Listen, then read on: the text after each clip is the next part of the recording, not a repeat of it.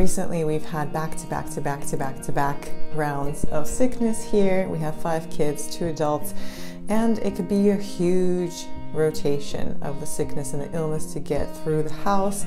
So, today I wanted to talk to you guys all about getting through those hard seasons of sickness in your family. So, when we are sick, I don't know why, but there's this expectation out there for moms that we have to push through no matter what. It's almost like this idea that moms really don't get sick. And I remember when I was really, really sick with COVID, my husband was in a different state and I felt like death. I was so sick and thinking I still have to do the things around the farm. I still have five kids to here to take care of. What's going to happen? I was almost getting super anxious and scared about what was that scenario going to look like if I did have to go to the hospital. Nevertheless, it was a lot of stress and anxiety. So, this is why I wanted to talk to you about illnesses because moms do get sick. Dads get sick, and there seems to be a lot of memes out there that they can go in their bed and just sleep all day, right? but moms have this expectation on maybe ourselves or just society in general that we still have to push through it. When you have sick, is in your house, whether it be with your kids or with yourselves, I have some tips for you to help you within that season. First things first, I really hope that you're doing preventative care for your house when it comes to illnesses. That is the basics of eating healthy food, getting enough rest, getting adequate movement and exercise, getting outside, getting out in nature, having that balance of really well cooked meals, really great diet for yourself and your kids, taking care of your internal kind of world with your organisms and all that stuff, having that in balance, that's preventative care. Having that in place is first and foremost the most important thing. The first thing that really you can look at when it comes to handling seasons of illnesses is to prepare for the seasons of illnesses, knowing that they will come. I feel like I've gotten a lot smarter about this as the years progress because I know that the transition from fall into winter tends to bring on a lot of illnesses in the neighborhood, in the community, and in our house. This is why I prepare for that season when the weather starts shifting from really warm to cold. I know that my kids tend to get sick more, so this is when I really watch their sugar intake.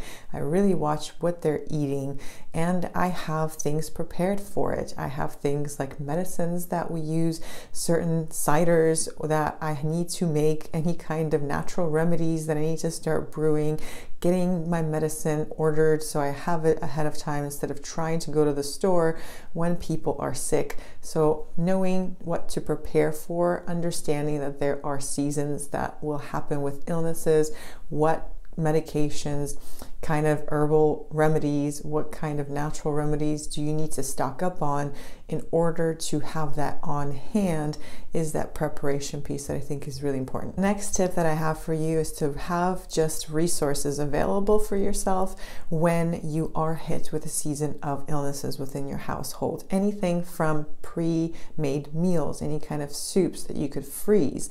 There are plenty of recipes out on Pinterest. You can look on my own Pinterest page for meal preps and freeze those ahead of time so you have it on hand as well. There's a lot of resources in terms of art supplies that come out just for illnesses, anything like Play Doh, anything that's not hard for you to clean up, anything that kind of gets them to sit in a place for a long period of time can be something that's a resource that you could use during a season of illnesses. I have special shows that they can watch during those sick times. My favorite is the Victorian farmhouse that we we are watching right now, which is really really helpful in the season of illnesses.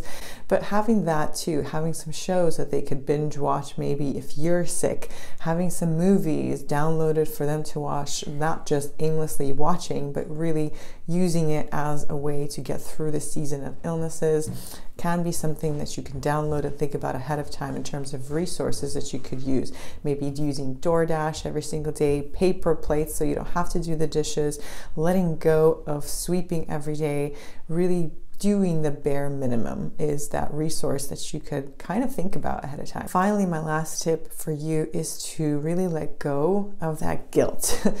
what I notice with lots of moms and within myself too, when I start feeling sick, I feel guilty. I feel guilty for not going to church. I feel guilty for not sweeping. I feel guilty for not being able to push through it. And give yourself that permission slip to let go of the guilt because the only person that's feeling guilty is you. So if you let go of the guilt, really understanding that you have to put on your own oxygen mask on first to be able to give to your kids is really, really crucial. When you're not functioning well, and if you are feeling guilty, you do push yourself through things, it'll take longer for you to recover. It'll take longer for you and more resources for you to get through that season of illnesses. So when you give that permission slip for yourself to let go of the guilt and understand that you are your best self when you are nourished, when you are well rested, when you're not sick, can really just have you recovering faster. So, whether it be with your kids or with yourself, seasons of sicknesses really do come into families a lot of the time within the seasons of transitions. I really hope that this has been helpful for you in order for you to prepare your family for a season of illnesses if you are dealing with rotations and rounds of illnesses. Give it a thumbs up if it has been helpful.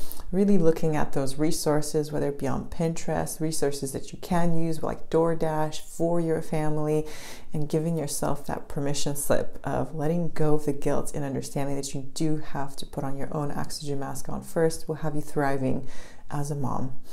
Take good care of yourself, mama. Bye.